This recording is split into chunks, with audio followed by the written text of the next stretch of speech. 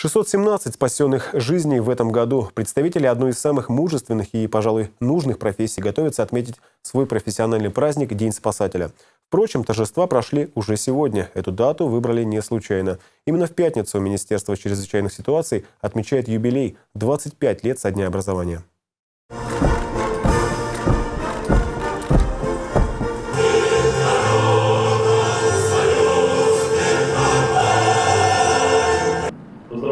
Профессиональным праздником. День спасателя. Те, кто первый приходит на помощь в беде, это спасатели, пожарные. Те, кто непосредственно принимает участие в работе по предупреждению, ликвидации чрезвычайных ситуаций.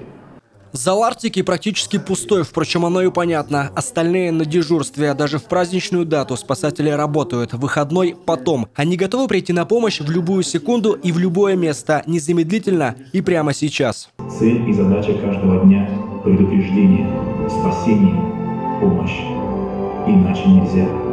Это сила. Тех, кто сегодня не в зале, уже наградили. Остальным вручают медали в торжественной обстановке. А здесь женщины – не слабый пол. Награды сегодня получили и те, кто не спасает, предотвращает ЧС, в их числе недропользователи. Медаль за сотрудничество во имя спасения получил Владимир Сарычев, гендиректор нефтяной компании «Восток Нау». Быть спасателем – это призвание. Случайные воздушные люди не задержат свой МЧС.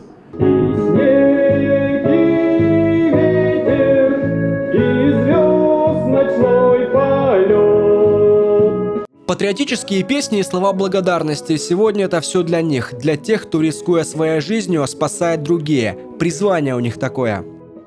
Олег Танзийский, Владислав Носкин, Роман Делимарский. Телеканал «Север».